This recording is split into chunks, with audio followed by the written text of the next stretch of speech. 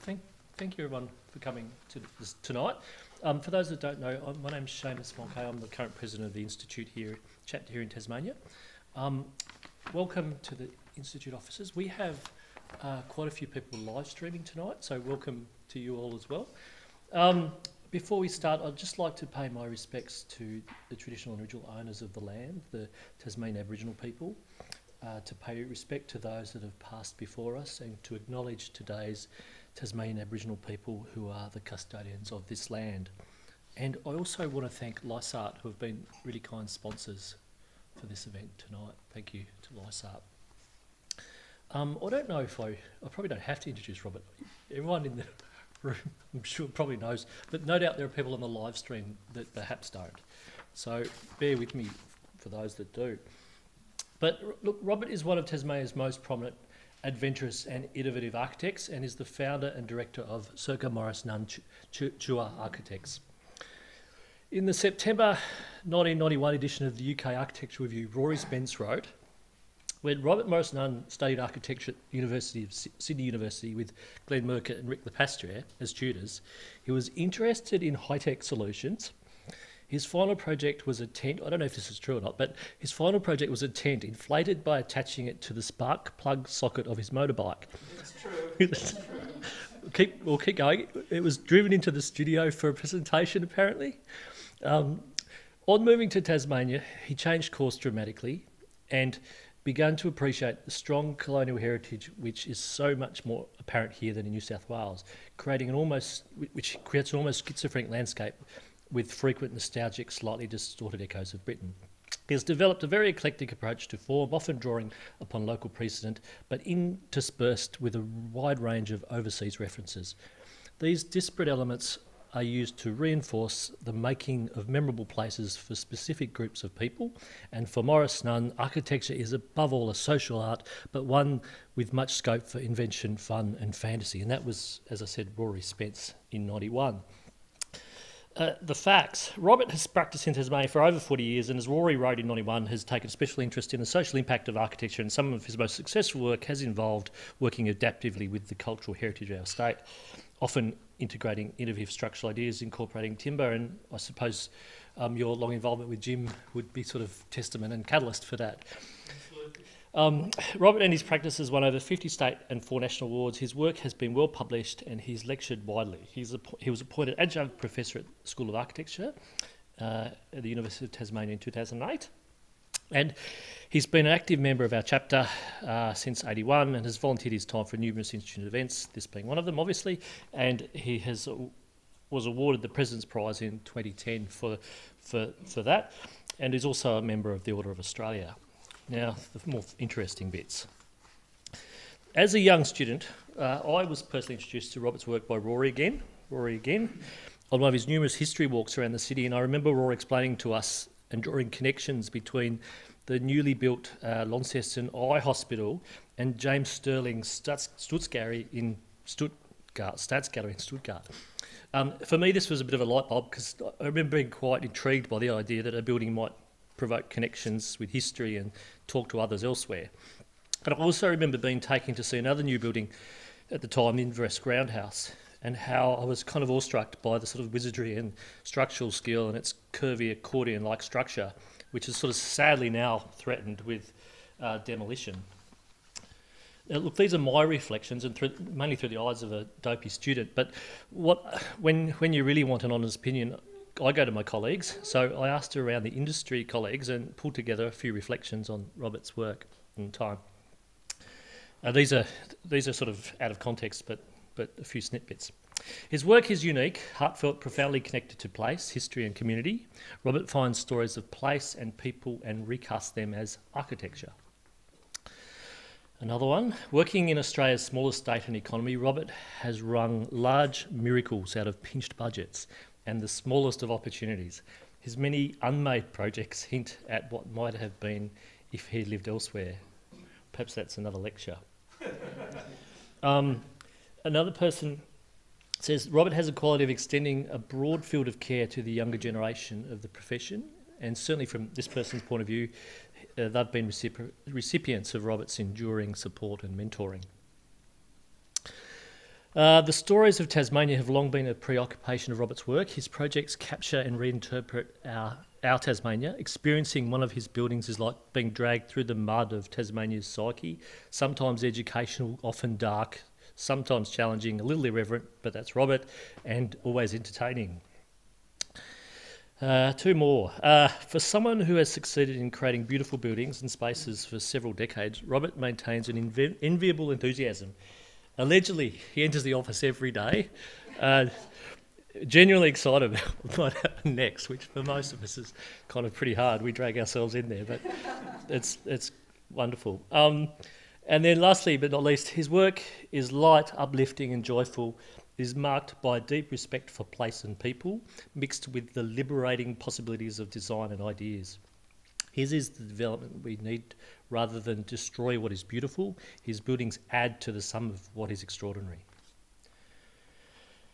So, look, Robert continues to be a significant figure in nurturing uh, Tasmania's current generation of young practices, and he's a leading advocate in Hobart and Tasmania for design, and the architecture profession is richer for it. So, look, thank you, Robert, and I'd like to introduce you to come up.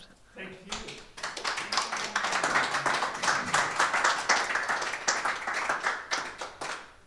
I don't need to say anything. This is wonderful. Um, okay. Look, thank you for thank you for the institute actually, because what this is is tonight was like going to be a lament, I think, uh, and up until less than a week ago, I would say that this building was actually due for demolition. It actually had its approval for demolition already set out, and it was it was on its way out. Um, I think there's a combined action of the institute. Uh, getting to the university, I actually been approached to the uh, vice chancellor. Uh, there was quite a number of things to say.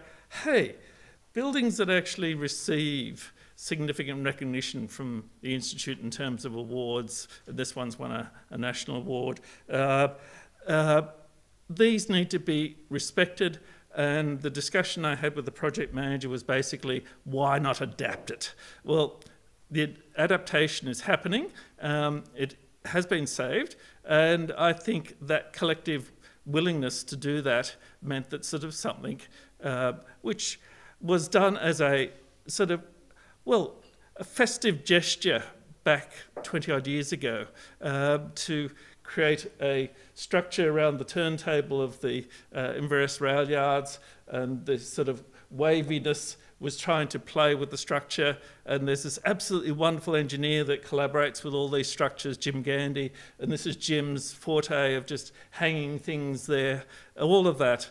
So it's still there, it's going to be there for another, another 50 years, uh, I hope.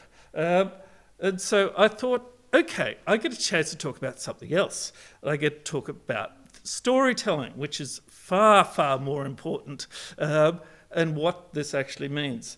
And what, for me, the whole thing about storytelling is I thought, well, where better could I actually begin than my sort of very, very privileged relationship with the Flanagan family and with Kevin Perkins because all of us ended up doing this structure uh, in a very, very early photo of one Richard Flanagan. Uh, but more importantly, the actual sort of rifle that's there belongs to none other than the mayor of the West Coast at that time, Daryl Gerrity, and Daryl has just shot up the conflict sign with his, with his 22. Uh, in good West Coast tradition, uh, uh, he's, he's honoured it with the, with, the, with the sort of, well, you can see the bullet hole. Uh, uh, and, and that whole idea of uh, our working and respecting and learning and all the things that went on with, with the sort of the actual inhabitants of the West telling their stories, telling the ideas that things have happened over time. Um, we won a competition to do this. Uh, uh, sort of it was the idea of actually building a conservatory on the site uh, and actually growing a wilderness and the stories inside the wilderness. So we we created this idea of a sort of well a building that uh, it's been described as an ark with a novel inside. So it's a structure that was intended to almost float off at the next next tide, uh, full of stories, absolutely wacky stories, but heartfelt. And the stories were written all by Richard. There's 40,000 words inside the place. Um, and it was this chaos. And it was literally designed to be chaotic uh, as, a, as a sort of experience. And, and Richard, but what Richard did, and it was all of us uh, working together, it was a, what this exercise taught me, and, and it was a sort of, if you like, a multi-dimensional learning exercise for all of us, was how much real collaboration could actually get somewhere in the face of absolutely stringent adversity. Because uh, Richard is not one to be sort of, you know, take things lightly. So, so for instance, the uh, sign above the uh, it was a symbol of Sarah Island. And as you can see, the HEC figures very prominently in that sign. It's the old sign that was above the uh, main. Um, uh, and the stories inside, the stories were about sort of, you know, the bestiality that went on, uh, the various issues, the, the, stories about the Aboriginal um, Kutikina he took the view of the archaeologists and he also took the view of the early, uh, what, what is it from an Aboriginal perspective, finding their own identity and, and things like that. And so there's lots of questions and things posed for the entire building. And it was, it was challenging and it was intentionally challenging.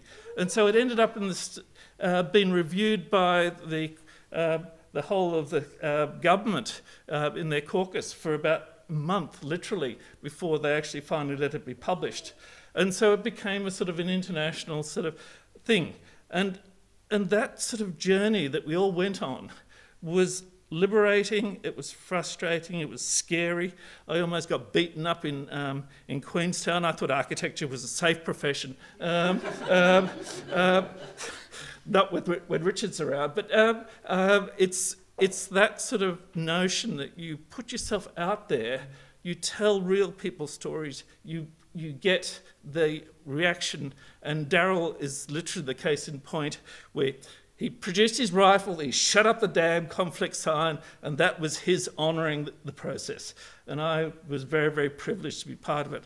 So look, just, just by the way that these things happening, the storytelling goes both ways. I'm telling Richard's story now.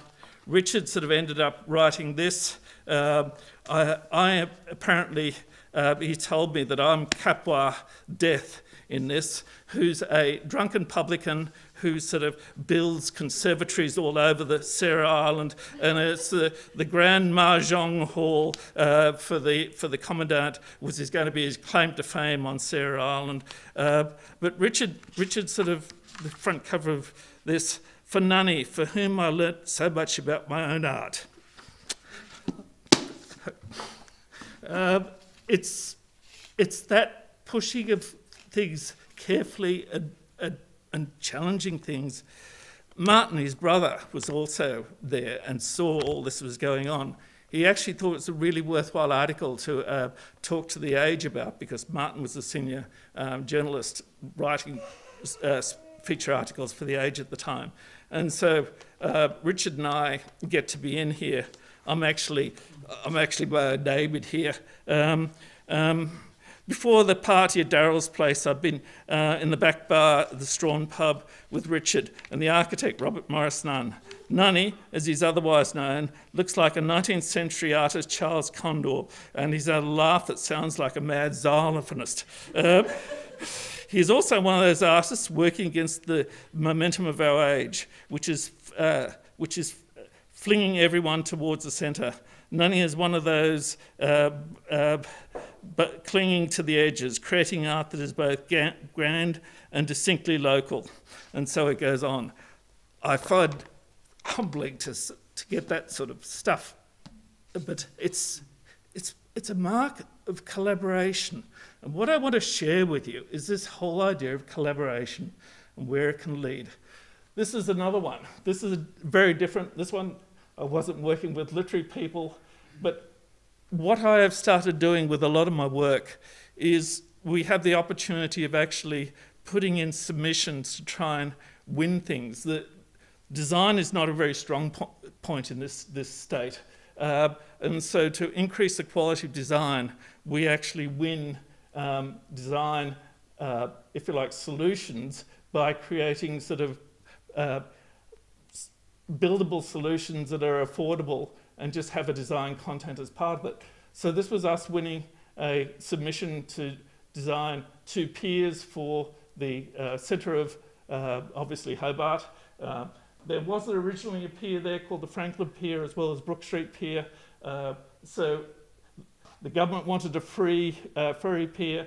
We figured that the only way we are going to get a free ferry pier was to actually build a hotel. And so that's the way that that was going to happen. There was a bit of a furore about that. And so eventually only the ferry uh, pier was built. Um, uh, but the interesting thing is not the plan, it's this bit. It floats. And, and so how it got to the point where it actually floats was a whole journey of people being prepared to say, okay, we can do this. There's the naval architect, Fred Barrett, myself, Jim Gandy again, um, all of us saying, yes, we can do this. Uh, uh, Fred describes this thing as a floating brick. Uh, he's a yacht designer, after all, and and so uh, so so. But what it enables us to do is collaboratively and say, okay, there's a willingness there to do this. This is possible, and let's get it done. And so the the building of it, the very fact that Fairbrother came on board, it had to be built at a three degree slope. So all the precast panels were easy enough, but building all the walls and things outside, building the roof, the, the floors on a three degree slope was pretty impressive stuff. This is where you actually cast slots in there. So there was sausages that were actually pushed through the structure and then inflated. So it almost was a reverse engineering of what the Egyptians did. And, and so to do that from no, you know, we hadn't done this before. Um, and we knew no one had done, done it before. But sort of by actually getting in there and sort of saying, okay, we can do this, we did.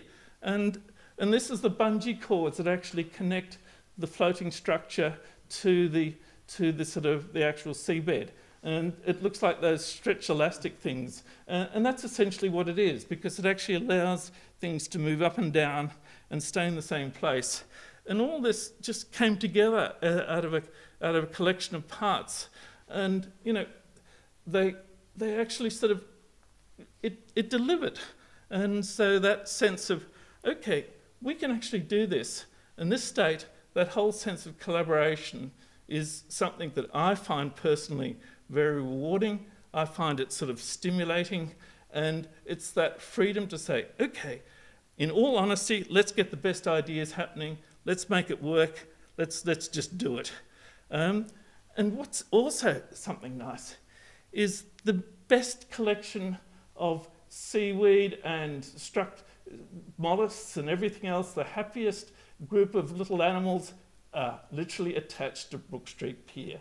Uh, it's the ecology has changed dramatically since this thing has arrived. It's the cleanest part of the, part of the Derwent uh, because of all these uh, structures. And these, this is the bottom of the actual sort of spiral uh, structures that, the, that sort of go into the mud. And it's there. So, so part of my thinking is to actually build on these ideas. But the other ones I want to share I believe in the heritage of this place. It's, it's the history and the stories and things are wonderful. And so to give you an example of one of the smaller uh, projects that we were involved with, uh, for an individual client, um, the journey that we went on. So this is Acton out at um, near the airport, It was bought by um, clients, Saul Eslake and his wife, um, and this was the back of it. Um, it was pleasant enough, but you know, there was a building there that had burnt down, and obviously this has got chopped off and all the rest of it because of the, the fire. Um, but it never ever got the buildings that it normally should have had uh, because of the nature of these old colonial houses. Instead, this is what happened to it. So the, before the house was built, it had a beautiful, well, not a bit, it had a functional old barn. And this, we're talking 1825. And the winds had actually got under this and actually uh, completely dropped it. So, so this was the structure, the ragtag nature of it um, that had grown up over time. Um, but, but inside, which is kind of special, every one of these timbers, this is either adzed, the big ones, or the little ones are in fact pit sawn. So it's the idea of the guy that's on top with the saw and the guy that's actually down in the hole underneath. Every, every bit of timber in this is actually created by that sort of process. And it's, it's amazing. We're talking sort of 1820s, and this is pre-circular saws, pre, pre-industrial uh, sawing of any sort. And so what, what was done was it was actually delicately, literally so disassembled by two amazing guys in excavators. And they literally picked this thing to pieces and put it on the ground because it was heritage listed and heritage actually wanted to see these structures. Uh, they wanted, they, they, they knew that they had a unique materials there and they wanted to see if we could preserve it. So, so it became part of the whole philosophy of the place to try and take it to pieces to, to preserve it. And what we actually found when we started to take these things to, into the ground, uh, put them on the ground, is just what, how amazing they were. So these are the ads logs, um, and most of them fine there, but there's one that's absolutely humongous, and this is it. It's 18 metres long. It's probably the longest bit of colonial timber ever come ever to come out of a structure. It was actually quite uh, rotten inside, so it had to get epoxied up and things like that. But it's, it is still there. It actually got reinstated inside the building, and we put it all back together again. So what we did to Acton was it got the old, it got the, the, the coach house and the stables that it would have had, except that now it's, it's a bedroom wing and it's the uh, kitchens. Um, and so this is Franklin House, the same sort of deal. Uh, coach house on one side, stables on the other. So here's our version of the same thing on. And so we, we reinstated it. And so apart from strengthening it up, because part of the problem was the wind had actually got to the uh, structure and it collapsed. So we, and as you can see, the, the bottom, the, uh, the, the columns were somewhat rotten, so we got steel, uh, steel plates at the bottom. But it actually went back together again. Um, and so, so this is it. And, you know, the builder's initial comments were, Christ, what are you going to do with that load of firewood? Uh, uh, but, the, but the whole essence of putting the original structure that predates the house back as the outbuildings um, created a sort of quality. This is under construction, and so this is the sort of form that's there. So it's a it's a contemporary reinterpretation with the with the 1825 structure up above, and um, it's there. And this actually has hydronic heating actually wrapped up in the roof. Uh, so it's taken something that's very, very old and given it a journey. And I think for my sort of the stories that this timber can tell are far, far, far better than anything could ever happen out of a bit of laminated timber or whatever. So, so that journey that these timbers went on, I, I find a very, very rewarding one. And so I got this a couple of years ago, and it's I believe on the um, architects in some states do get it for their design work but I believe I'm the first in Tasmania to do so.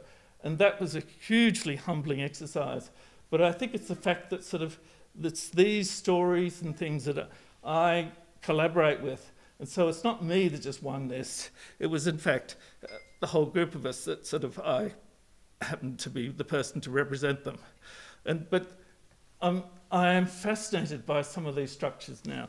Um, and that sort of idea of building around one um, and floating it in rather than building tall towers in the middle of Hobart. That, that would take the same number of 250 rooms as a normal hotel. Um, but the one I want to share with you is the one that sort of, I want to sort of describe a journey that's starting to happen. It's slightly on its way. It's, it's beginning to sort of move along. And this is one that I want to make certain I pushed to a reality while I still can. And so this is a rather unique part of Tasmania. This is, this is Recherche Bay. This is the um, very, very southern tip. And it's, and it's where these two boats sailed around in 1792 under Bruni d'Entrecasteaux and actually sailed in here and anchored there. And that's the first time that they actually sort of really were able to stop because of the west coast and things like that. And it was after staying from there for about a month, they eventually sort of got to meet the Aboriginal population and they were camped on this beach just here. And so the, the first meeting between Europeans and the Aboriginal um, community, uh, Abel Tasman didn't meet the Aboriginals. He saw the smoke and things, but he never actually met them. The French did. The French actually pulled out a violin and started playing. And the Aboriginals didn't like that at all. They just flew straight off to the nearest uh, other end of the beach. Uh, but they did, before that, sing the Marseillaise, and the, the Aboriginals liked the Marseillaise, so that's fine. Uh, but that, that whole nature of how these two cultures actually came together is absolutely fascinating. At this point here, they had um, they built the scientific explorer uh, for measuring uh, magnetism and things and trying to relate that to longitude. So there's a whole lot of exploration going on at the time. And so this is, this is their uh, tracking of the map in, inside Recherche Bay. And this is, in fact, it's, it's something I have had the pleasure of owning, which is an original map that, that the cartographers made after they got back.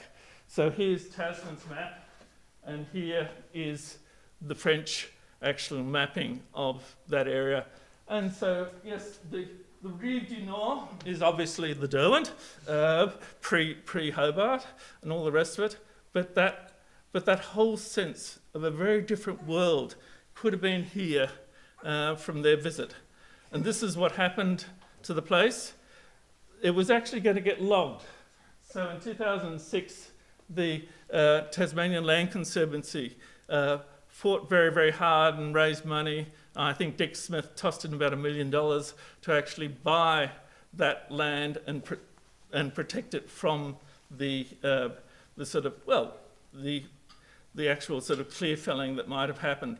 And as you can see, it's got various things on it, including the original garden. And this is, this is the French drawing of the Aboriginal community that they met. And they're not sure of the, of the sort of the, the, uh, the canoes that they actually made. So this is, uh, uh, you know, again, contemporary drawing um, published in Paris in 1824. So what we want to do is celebrate this. There's a story there that's unique. And I believe it's an important part of Tasmania's story to actually have these things known. And so rather than just sort of, you know, build a building somewhere, the French stayed on their boats. They came ashore, but they went back and stayed on their boats. So guests should stay on the boats too. And so we've mapped the uh, water. We know exactly where the, where the currents, uh, where the tide changes so we can actually position them.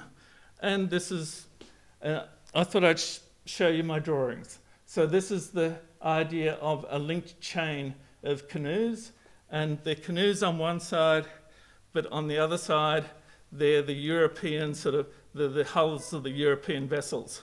And so I'm interested in trying to create an architecture which is the merging of these two cultures. So this and that.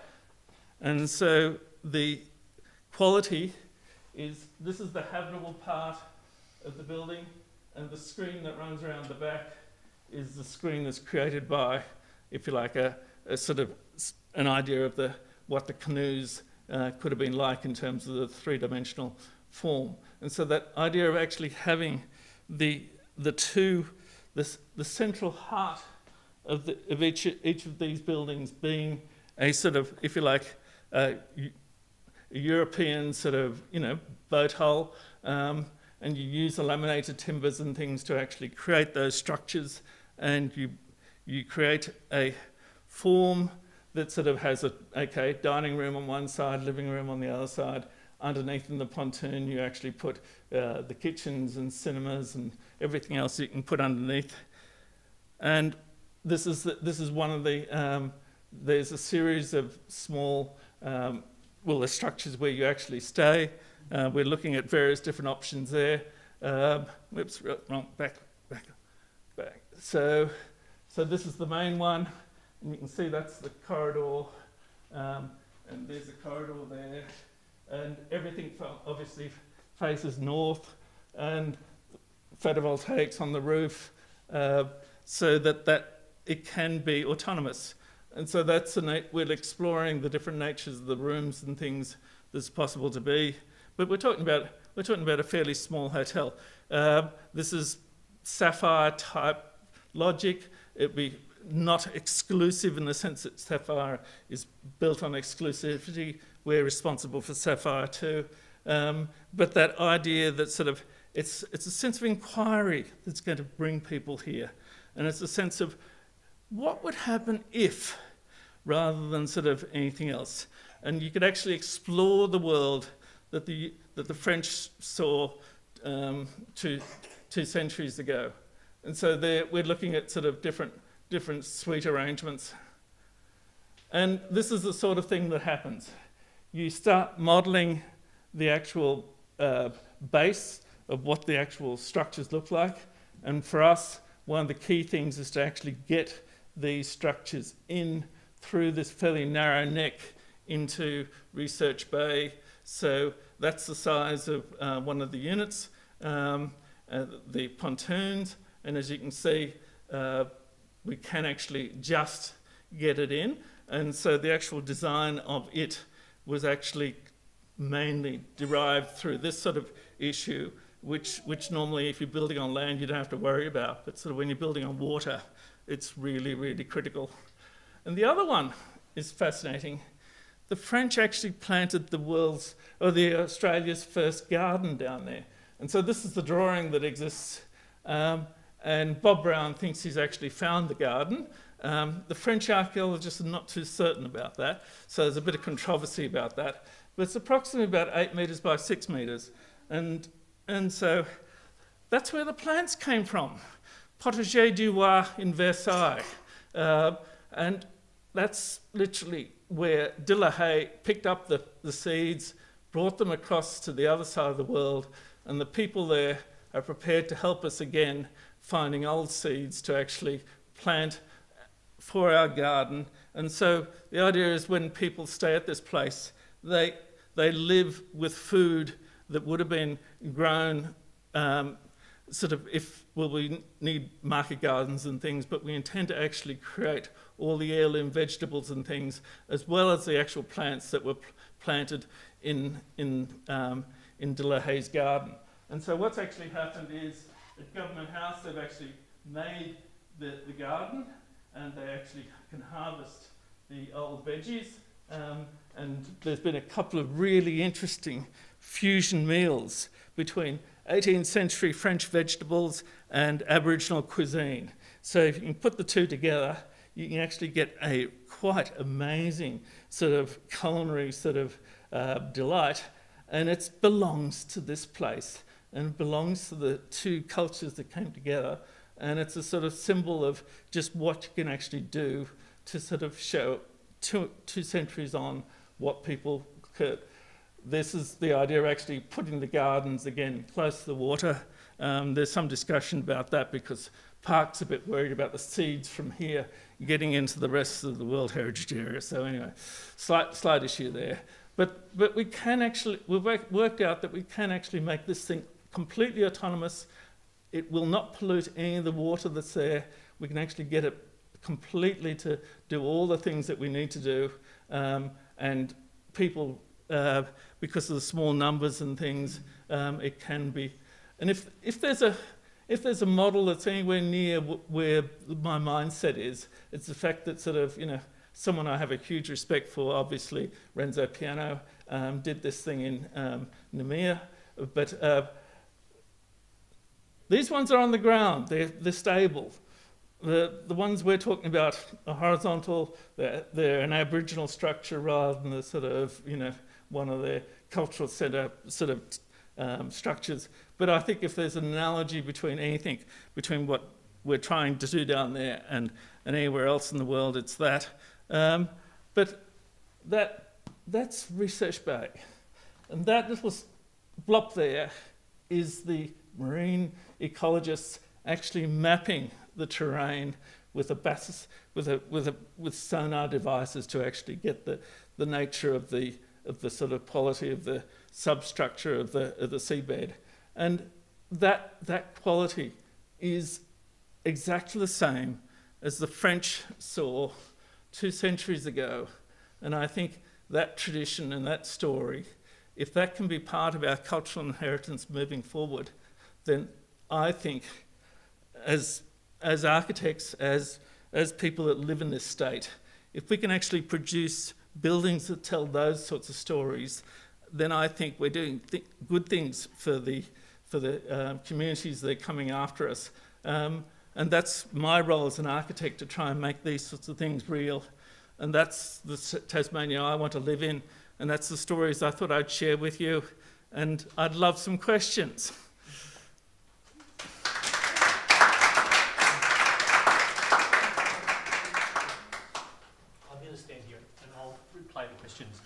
so that everyone can hear online. Okay, done. Has anyone got any questions? Yeah. I guess I have one.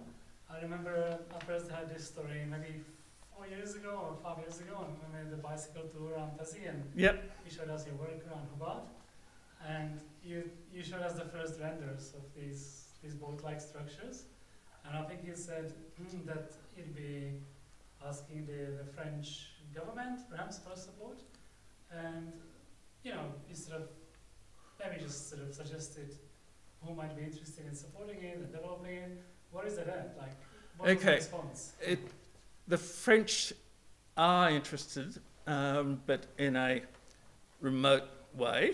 Um, the, the, two things have happened. Um, a number of projects that sort of, if you like, distracted us um, over on the eastern shore uh, and that's been a mind bogglingly negative exercise.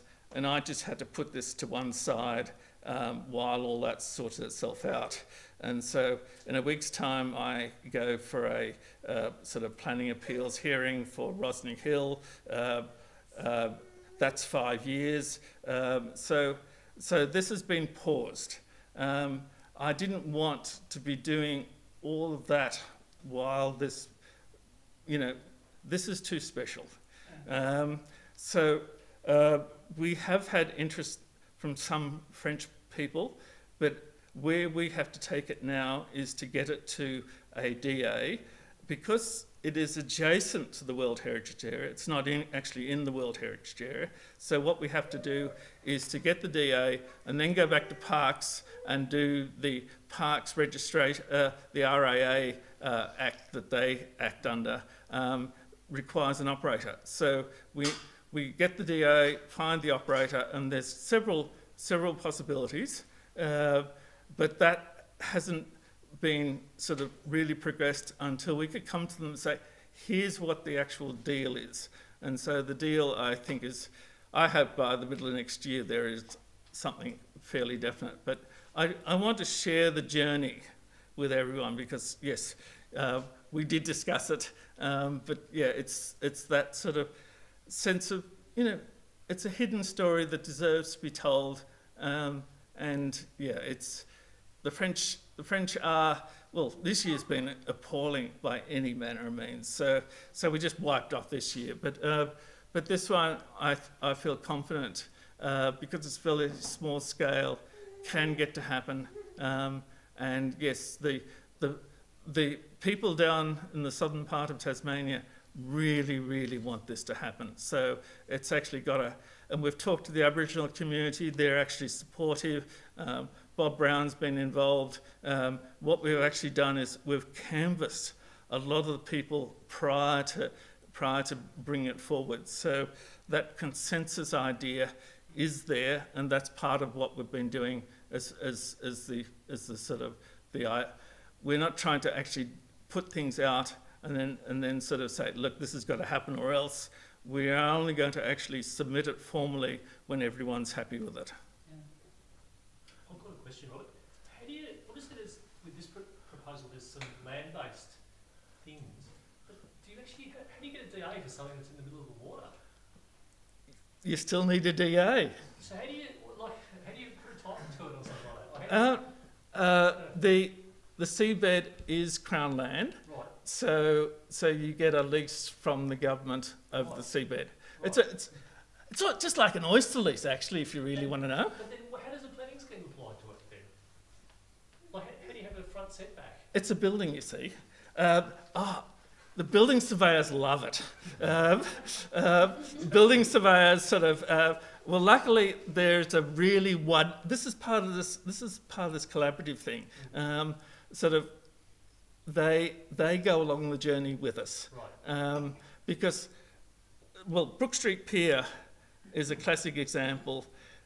Uh, the disabled access to Brook Street Pier, uh, the, the gradient of the, of the ramp, works correctly for 80% of the time.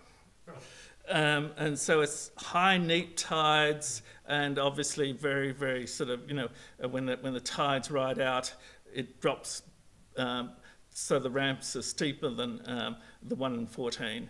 But so they're prepared to say, okay, 80% of the time um, is fine.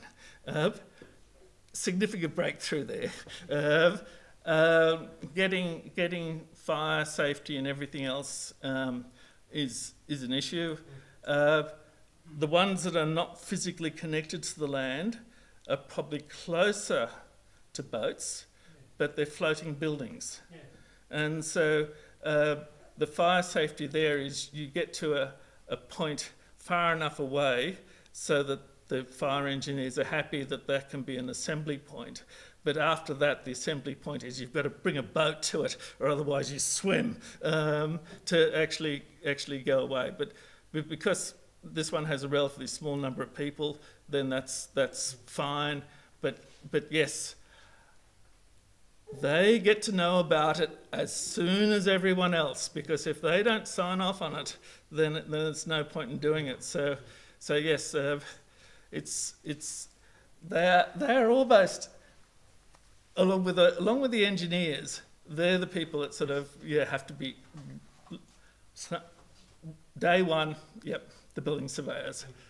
But um, but that's that's the other nice thing about here is the fact that you can actually go and go and sort of talk to them. Pitt and Sherry are sort of, you know, know that we're coming, so uh, they're, they're there. So uh, it's, yeah, I give a plug for, yeah, they're, they're worth it. Um, so, so that sort of sense of the collaboration, like the, the idea of actually taking that old building, the old barn to bits and reusing the timber that sort of was pretty, you know, badly chewed about, broken, all the rest of it to try and get that. Well, in that case, it was Peter Spratt sort of certifying that that timber was still as good as it needed to be to be the structure of the roof. But again, there's a point of departure there that, that is different to what you'd normally sort of come to come to think about. So it's it's that suspension of disbelief which is the interesting part of the exercise. What I'm hearing is that you're suggesting that you get the other consultants involved very, very early in Yes. these projects, perhaps even before you finalise design, Absolutely, absolutely. so that they're going along with the journey. They they don't. They just get to sort of will this work sort of idea. Um, they don't have to generally do much physical work to substantiate things, but th you know they're, they're skilled people. They they know what will work and what will, won't work, and and they know enough to ask serious questions very very much up front and saying you know how are you going to do this? Um, and they're loaded. Uh, uh, uh, and you have to provide them with enough answers. But but I think again I've been very very fortunate because of the sort of the one can carry on to the next one and there's a degree of trust if you like because of the process. And they've they've seen the respect be maintained all the way through and so that sense of you know they're, they're honoured for what they do and they're, they're, they're an integral part of the exercise and, and that is always there and always should be there. So, yeah, but you're right, they need to be there very much in front. Yeah, Robert, hi. I'm from Sydney. I'm, I'm a recent uh, arrival. Um, your- look, look at your, your project down there. Remind me of the fact that in Sydney, um, developers proposed for a brief period of time put a casino in our harbour, and that was, of course, dealt with swiftly. Um, it's sort of striking that somehow in you, you're a sort of safe pair of hands that people sort of entrust with development that may be considered under other circumstances to be slightly sort of, you know, full on to, to choose words carefully. Um, clear that you're sort of, you have a unique position in that you can sort of almost take hold of potential development and, and almost diffuse it in a lovely, considered way. And I just sort of was hoping for your kind of broader comment about, um, you know, I suppose development and private interests and this beautiful little um, place that's Hobart and, and what the future might be like in your view. do you want to try and I'm just how to put that question? uh, maybe you could relate to Okay, okay. Uh, uh, it's very, very hard. Sydney, particularly, we've actually tried to do some of these floating structures up there in Sydney Harbour, and we've hit a mammoth wall of bureaucracy. And it's a bureaucracy that where they just they come to eventually they come down here and see that like we actually had Lend Lease come down to Brook Street and they expected it to rock and roll. Uh, and they didn't believe that it was stable. And, and so they actually brought a set of marbles with them. And we're talking Sydney developers here, uh, uh, to put on the table, and they watched the boats, um, the ferries, coming backwards and forwards because the Sydney um, uh, ferry, ferry structures are fairly lightweight, flimsy things that do dive around all over the place, and so they expected these to, these to do. So we told them that, that Brook Street Pier was 4,000 tonnes. It doesn't move, it goes up and down. Um, but they didn't believe us, obviously. So, so, so they, they put, the, they put the, the, the marbles out on the table, and the marbles didn't move. Shock horror. Uh, so, the, so the suspension of disbelief uh, sort of they they started to think yes this was possible um, and but one of the wags that was actually uh, with us uh, there was a couple of bottles and things and he said you know you better go and check those bottles out. They're glued to the table. Um, um, and so they rushed over, lifted it up. No, the bottles can be lifted up. Um, but just the fact that sort of they, they need to leave some of their perceptions behind. And when you get the bureaucracy entrenched, it's very, very hard to do that. Because we were actually looking at trying to put uh, a floating sort of terminal in uh, instead of the over, to complement the overseas passenger terminal um, in Sydney Cove around the around the corner, um, and you know it could be actually serviced from ferries, uh, and the ferries there, you know, are, are good ferries, and you could actually get them. So so rather than sort of you know boats pulling up to to sort of uh, East Circular Quay, you could actually get them to the big ones to come into a to a floating structure and then sort of use the ferries to do, do it. No, no, no, no, no, no. Um, so, so yes, there's a there's a few things like that that haven't happened for that reason because the yeah the the bureaucracy needs to come along with you um, because it, it it does change the rules. Any other questions? Okay. Uh, I've got. Oh, you, you go. Okay. what other fun things have you got in mind? Well, uh, I'm going to try and work out how to take things easy. Uh, and I'm serious about that. Um, that that because yeah, th- these things come with a certain amount of emotional. Um, uh, well, you, you you wear it on your sleeve, um, and that that comes at a cost. And and I'm going to have to seriously, and I'm saying this out loud, uh, to uh, to do, try and do that in a more relaxed way. And I think it's about picking and choosing rather than having to do things. Can I ask a twist on that, Nick? Because my Yeah. question was: Is there one idea that got away? Maybe. Oh, there's a fair too many ideas. Well, if you can pick one. Okay. Like, what's the one that you think? Oh God. Uh, oh. Um, And there is a follow-up to this. So okay. Okay. Part B. Um, um, uh, in answer to well, it's part one that did get away. Um, is we were proposing to bring Brook Street type ferries into Circular Quay. No. Um, so it didn't happen. The entrenched um, sort of, uh, well, values were such that the, that, that was the Lend Lease conversation. Um, and no, the, the bureaucracy there just was refusing to say that, that no, it, it wasn't, wasn't, well, it wasn't possible. And it's, there's no reason, you know, we actually worked out that you could actually build them. Um, in fact, you could probably build them in Newcastle at the big shipyards up there, bring them down the coast and have them built with no, no piles, nothing. Um, they could actually float in through the heads. They could actually work.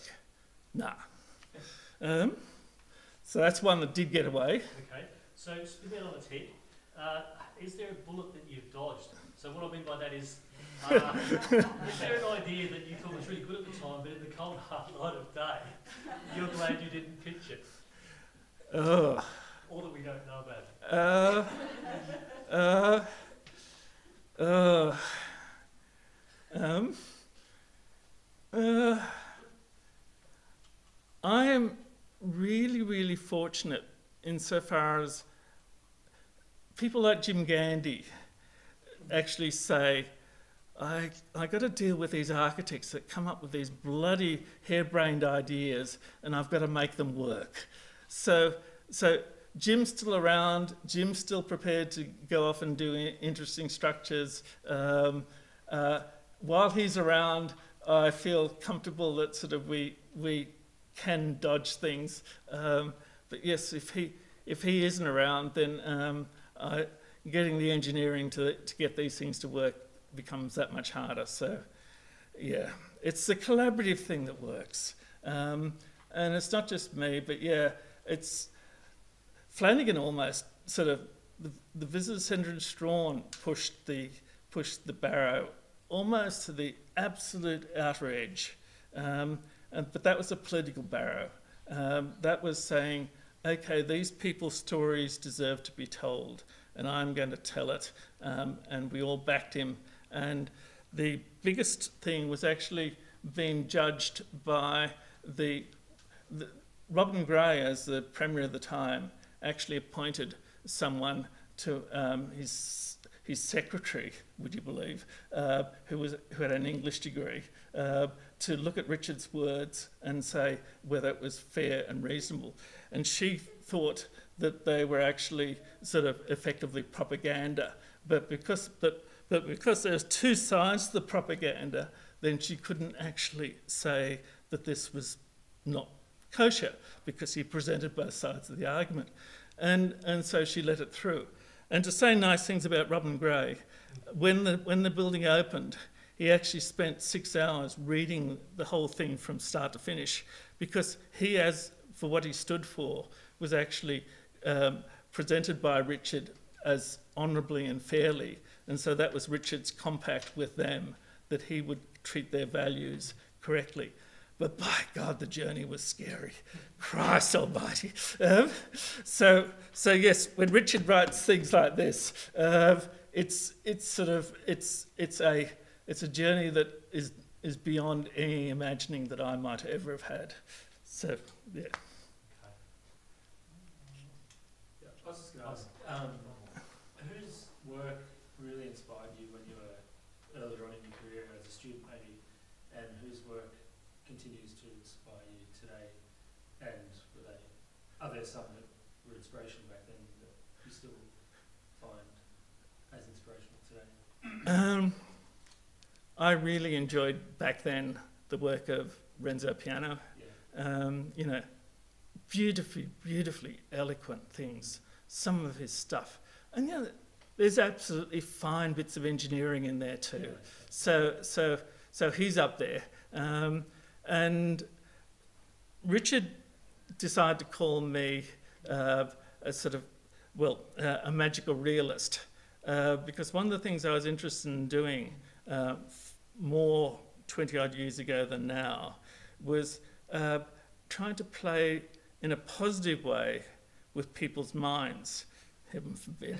Um, so there's a couple of nursing homes, and we, we actually, there's one in the Derwent Valley, and we actually got and made uh, small structures that are reminiscent of the houses and things that the people used to live in between the wars.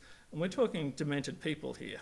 Um, and so these people were actually comfortable in their imaginary worlds because they were their traditions rather than sort of something that's artificially imposed on them. Um, it was an imaginary world, and their, their imaginary world felt comfortable in that. And so there was a, there's, a number, there's another one up in Deloraine, and there's a, there's a childcare centre which is called Bungawitta, which is everything is half full size. And the little kids realised that this is their own scale space, and they loved it.